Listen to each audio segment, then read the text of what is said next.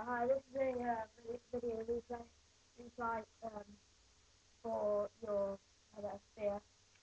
Um, to show you my sphere, really. Um, did it today. Don't look very good so far. Got a kind of holder here, and you can get it like marking the black bit where your holder is.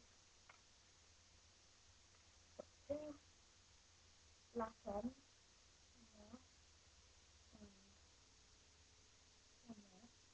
This side still needs to be kind of standard a uh, bit. Used to be a peak pole for all, buildings really. And the yeah, it used to be standard a bit. You know, peak it's all silver, so it's kind of shiny. Now I just need to kind of put some like spikes on the end